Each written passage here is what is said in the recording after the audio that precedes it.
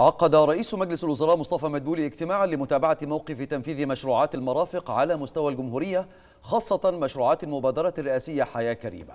وخلال الاجتماع وجه مدبولي بمنح التيسيرات المطلوبة للمصنعين لتوطين صناعة المعدات والآلات والطلمبات والتأكيد على أهمية أعمال الصيانة وحسن إدارة محطات مياه الشرب والصرف الصحي للحفاظ على الاستثمارات التي تم ضخها في هذه المشروعات.